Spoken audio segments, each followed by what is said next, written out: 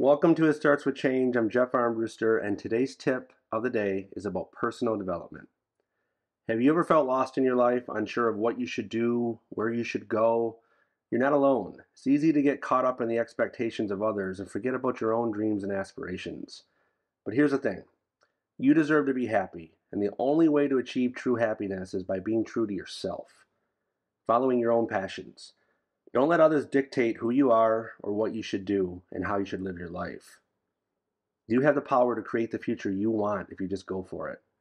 So go ahead, find out what makes you happy, and just go for it. Take that first step towards personal development and live your best life. For the rest of it here, it starts with change. We'll see you real soon. Take care.